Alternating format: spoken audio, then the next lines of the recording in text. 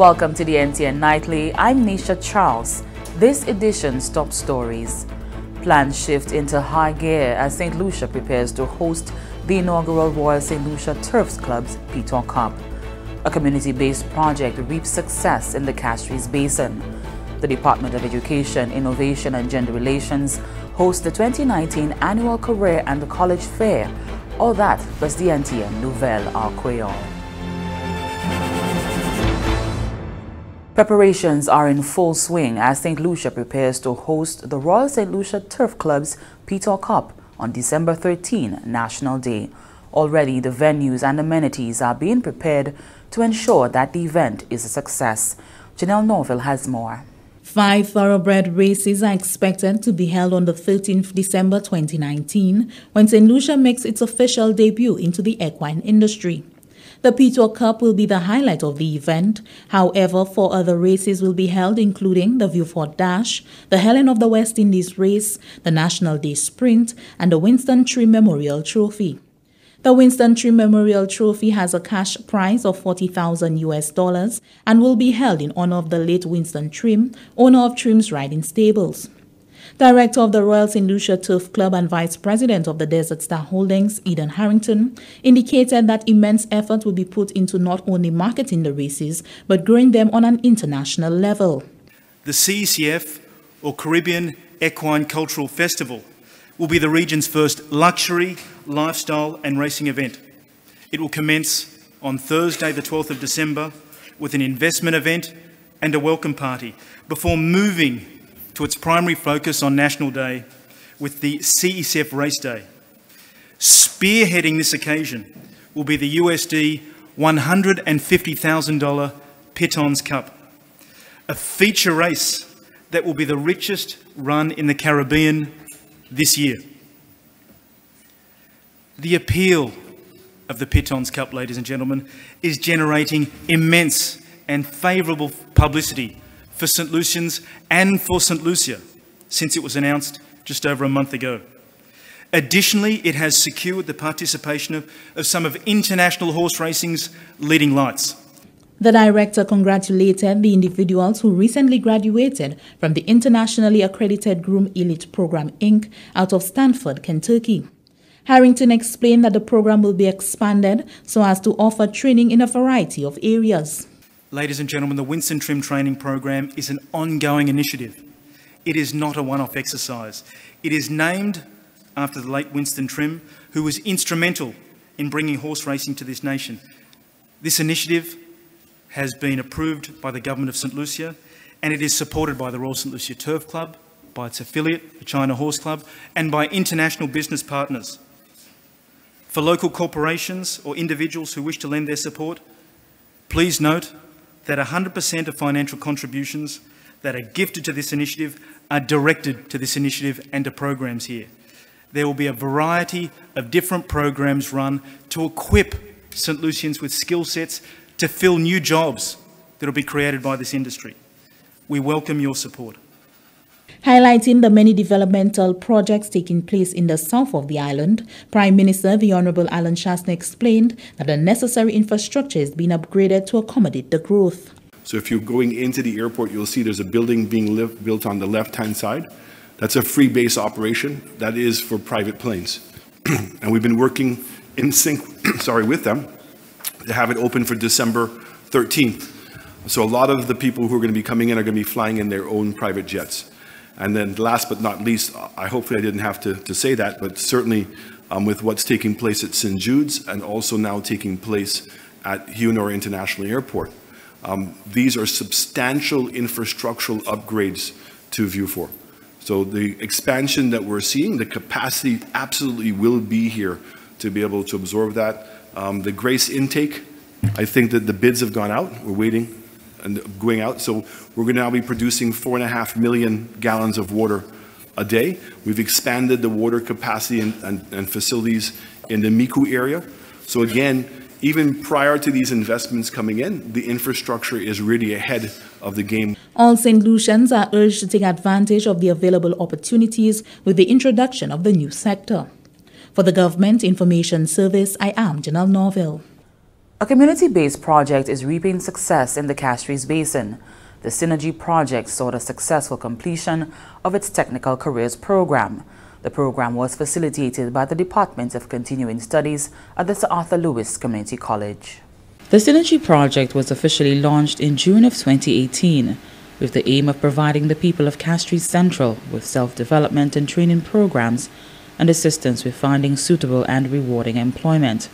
With the help of the Sir Arthur Lewis Community College, the project has been able to develop a technical careers program where participants can learn auto mechanics, plumbing, and general maintenance. According to the Vice Principal of the Sir Arthur Lewis Community College, the program will improve their opportunity for employment. Entry into the program required basic literacy and numeracy competency. However, there was no prior experience or qualification needed in the specialization chosen. The TCP content sought to strengthen basic numeracy and literacy competence by providing more exposure to foundational mathematics and English and communication skills and to provide participants with the necessary knowledge and skills in their chosen areas of specialization.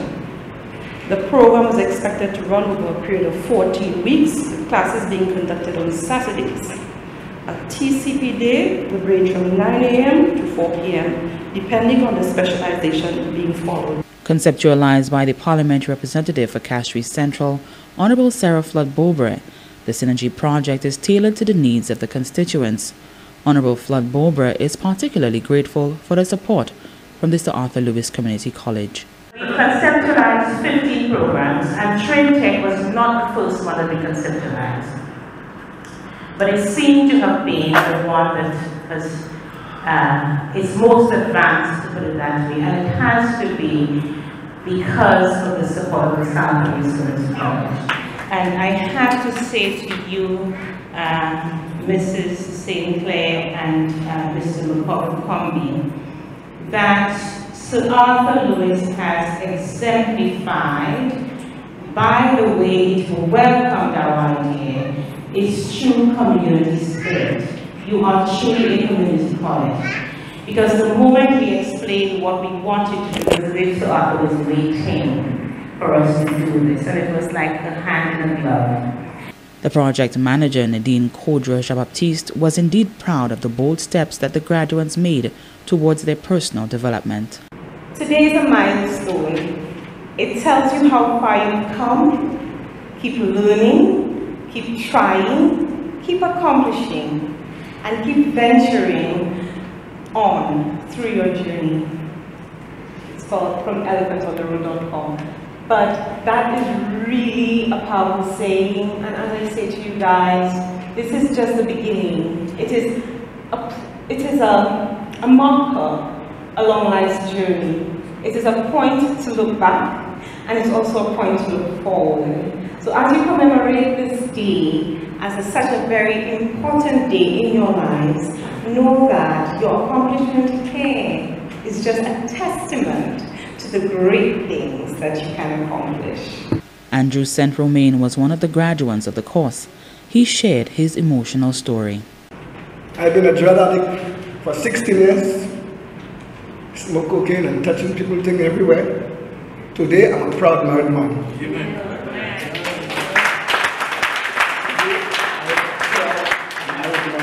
This is my wife and me.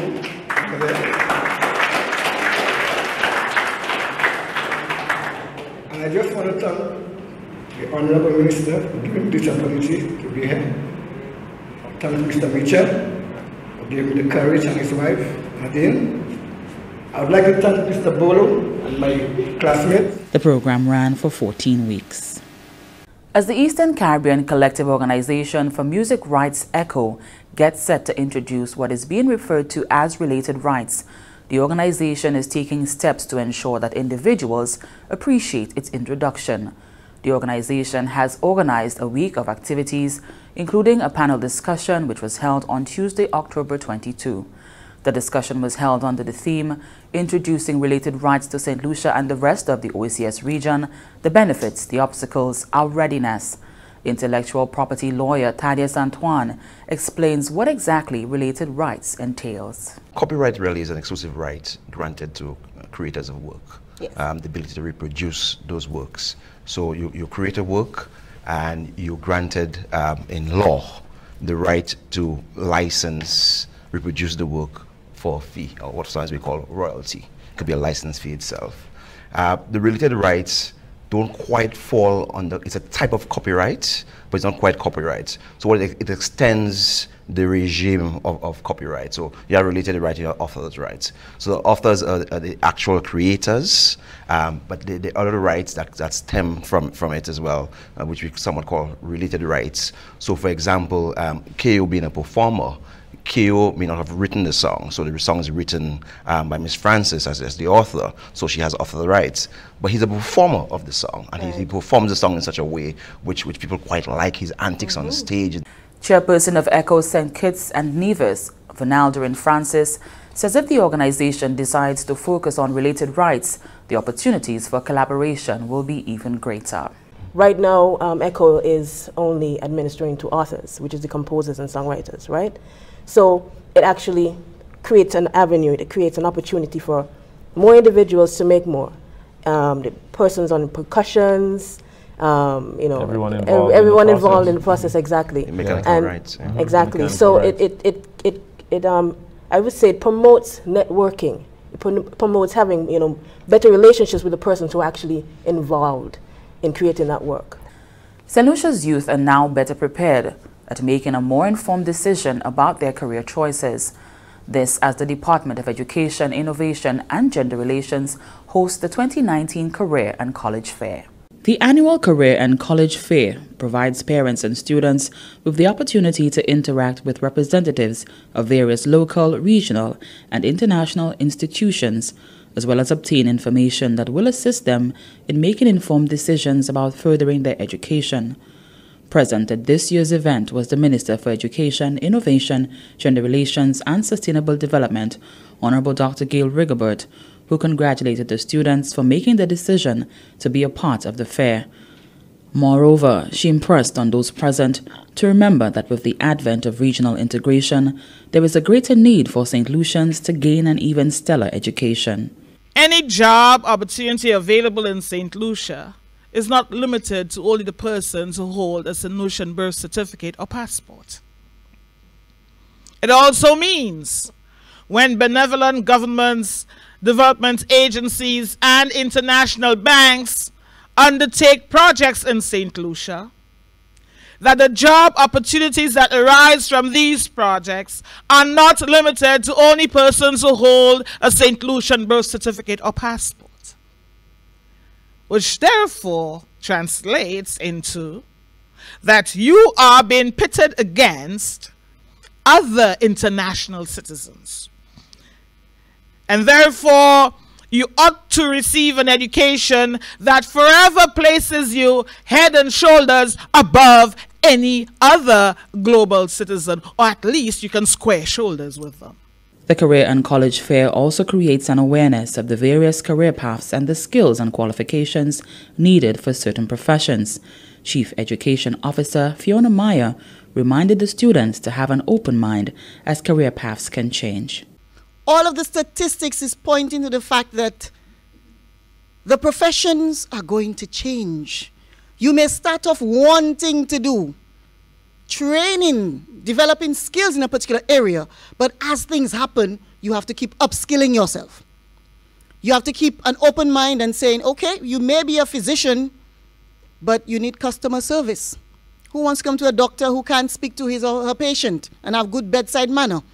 So, in as much as you get a medical degree, you may have to go back and do a business degree. The annual Career and College Fair was held from October 23 to 24, 2019 and this is the NTN Nightly. Do stay with us. Do you know me? I've been forced to do this by my trafficker. I was promised a better life, but got forced into domestic servitude. I can be any age,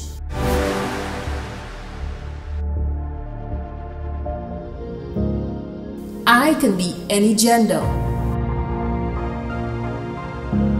any ethnicity. I am. I am. I am a victim of trafficking in persons. Know the signs, see it, report it. If you see me, please help me. Call the TIP hotline at 847. Welcome back. The Caribbean region can expect to see exponential growth of small and medium-sized enterprises in the near future. This as more young people are being taught about business ownership for the CARICOM Secretariat's Creativity for Employment and Business Opportunities CEBO program. More from Tusankin English Francis. CARICOM Secretariat's 10th EDF Creativity for Employment and Business Opportunity CEBO program has been moving apace. So far, youth in Haiti, Jamaica, St. Vincent and the Grenadines, Trinidad and Tobago, as well as Belize, have participated in entrepreneurship workshops. The workshop targets young people from all walks of life as a means of countering youth unemployment, mitigating drug abuse, crime and violence, and fostering economic resilience. This phase of implementation also focuses on CARICOM nationals who have faced involuntary separation from other countries. The emphasis on this particular demography is linked to CARICOM Regional Crime Prevention Strategy, which proposes actions to address the determinants of crime, including reintegration of deportees. Deputy Program Manager for Gender and Development at the CARICOM Secretariat, Ms. Anne-Marie Williams, spoke about the significance of the workshop at the opening of the session in St. Vincent and the Grenadines on Monday, the 14th of October.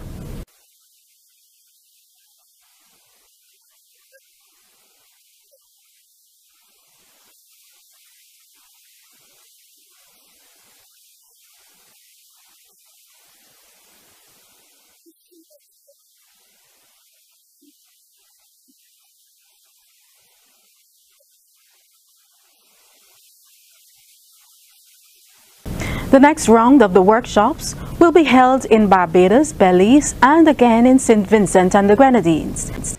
And stay with the NTN Nightly. Up next, Primus Hutchinson is here with the NTN Nouvelle au Creole. If you are in receipt of an abnormally high bill, it is highly possible that you have a leak. That leak may not always be visible. Before you contact Wasco, conduct a do-it-yourself test. 1. Record your meter reading. 2. Do not use water for 30 minutes to 1 hour. 3 take another meter reading. If the reading changes, you have a leak. Contact a plumber to identify and fix the leak at the earliest. A message brought to you by the Water and Sewage Company Incorporated, WASCO. Welcome back. We join Primus Hutchinson for the NTN Nouvelle en Monsieur, Madame, Département qui responsabilité pour information en gouvernement cette GIS. A ce télévision nationale pays NTN, Kaposato Nouvelle Creole. Apresentador, Primus Hutchinson. Vice-président DSH et directeur pour Royal St. Lucia Turf Club, Eden Harrington, déclaré que cette lycée a trouvé l'occasion pour venir engager un projet salaire. Déjà, l'année 20 contracteurs et 300 individus employés en construction en première phase projet et alors 50 individus employés pour occuper ces chevaux-là.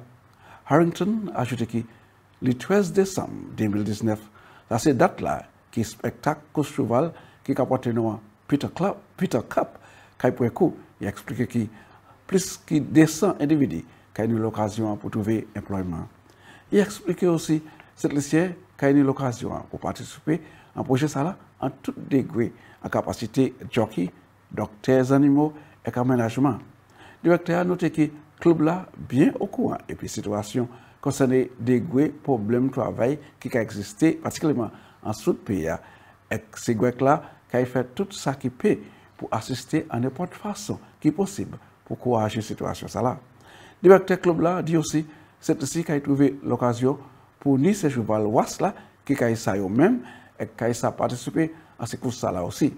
Harrington explique que programme étonnement Winston Trim qui a porté ces divers étonnements pour les individus qui l'ont atterri en projet ça Comme préparation j'ai en place pour tenir plusieurs courses cheval pour l'année 2020, Premier ministre Honorable Alain Chassney ka fait un appel pour cette lycée engagé pour trouver bénéfice hot projet ça là. Premier ministre Chasney déclaré qu'il a eu l'occasion pour cette lycée travailler comme jockey. Premier ministre là remarqué qu'avant, si yon moun teni la tewe pou etwene kon yon joki, yon teni pou voyaje lot peyi. Men aprezen, yon kay sa fè sa an set lesi menm, kote yon kay touve an de gwe etenasyonal. Set lesi kay espyanse gwan kous etenasyonal sa la, an industri kous chouval le 13 Desem l'anè 2019, epi spektak Peter Cup. An palan de sa, direkter des affaires implémentation en gouvernement cette Mme Nancy Charles, déclaré que c'est cheval course là qui a sorti en plusieurs pays pour participer dans grand course là cette ci Mme Charles parlait concernant le développement ça après une grande conférence en vieux fort mercredi passé côté Premier ministre honorable Ellen Chasney et les officiers d'ISH qui parlaient du projet d'ISH là. Sot l'Amerik, sot Babad, sot Trinidad pou vin fè kous chouval an set lisi. E so sa DSH ka fè jodi ya, yo ouve pou midya, vini pou gade fasilite ya ki sa am fèt isi ya. Yo ni stables, yo ni bands kote se chouval la ka weste. E pi yo ni um, apopye 25 jen nomek madam an set lisi ki yo um, etwene. E pi se moun sa ka apwen ke se chouval sa ki isi ya. Selon Mme Charles, ça a l'occasion pour particulièrement les jeunesses en façade sous pays pour prendre l'avantage. Et puis nous avons un chay moun peut-être qui pate quoi? Développement ça a été fait là un chay moun peut-être qui était capable de développement. Mais quand nous ici aujourd'hui nous avons là un chay l'argent qui a investi en le développement. So un chay c'est business là qui en sud pays um, c'est hardware company c'est côté comme ça. Yo ka bénéfice puis um, genye tout matwi yo um, from se moun sa sala. Epi se kontraktors vie fo, moun ki ni truck, moun ki ni bako, moun ki ni ekskavator, jen nom ki ka mette blok, sa ki ka fe elektrikal. Tout se moun sa an sud peya ha benefit from proje sa apis yo za jen to avay pou yo sa konstrukte tout fesiliti a nou ka weki isi a jodi jodia. So gouvernement tou e ple e pi employment i ha kouye bayan sa jen moun e pi nou tou e ple e pi opportunity a i ha pwenze te te bay biznis an sa ou peyi ya ah, pou yo sa benefit from development sa la. Gwan kou cheval Peter Cup ekou le 13 Desem l'anè 2019. Moun ki te prezant pou gwan konfwans ki adwese pou GDSH e gwo kous cheval aset lesi te wan temoyaj pou yon monster sculpture ki ka wopazate gwan spektak sa la aset lesi. Cette lycée, avec travailleur sculpture international, Jalim Yudovic, a trouvé l'occasion pour bâtir sculpture ça et faire présentation de une grande conférence là et expliquer qu'il était choisi bois l'OM Abré, qui c'est un bois local qui est très belle et qui apporte des couleurs. Jalim déclaré qu'il a bâti 12 sculptures plutôt que là. Il a ajouté qu'il a bâti image là en façon qu'il a embrassé natal pays, mais en même temps, car aussi représenter une image mondiale pour aider du bout à parmi compétition internationale. Mais en même temps, tout ça, c'est cheval là, et ça c'est raison sculpteur qui a présenté une tête cheval. Après, il a expliqué l'image là, il a aussi présenté pour tout le monde qui, ouais, et il recevait bon applaudi. Et c'est comme ça, nous, nouvelle là, messieurs, mesdames, je vous remercie autant pour regarder. Gade, maka ba yon evitasyon pou jenep yi mwen akor. Si Dieu conserve la vie, je vais présenter l'autre nouvelle à Créole. Après ça, je vais présenter Michel. Merci, Opil Primus. And here's a look at what's happening to us weather-wise. Fair skies becoming cloudy at times with some scattered showers and a chance of thunderstorms. Weak unstable conditions in the atmosphere over the region will cause some showers and possibly isolated thunderstorms over parts of the region during the next 24 hours. The tropical wave, located several hundred miles east of the Lesser Antilles, has been relocated further east. This wave is expected over the southern portion of the region by late Saturday. A second and third tropical wave located over the eastern tropical Atlantic and just off the West African coast are moving westward near 17 miles per hour and 15 miles per hour or 28 and 24 kilometers per hour respectively. The tide for Castries Harbour was high at 1.03 p.m. and is low at present. The tide for Vieux Fort Bay was high at 2.10 p.m. and will be low at 7.55 p.m. The sea is slight with waves 2 to 4 feet or 0.6 to 1.2 meters. The sun will rise Friday at 5.56 a.m. And that brings us to the end of the NTN Nightly. Join us next time at 7 p.m. with a repeat at 7 a.m. You can also catch up with us anytime on the St. Lucia Government Facebook page or YouTube channel. I'm Nisha Charles.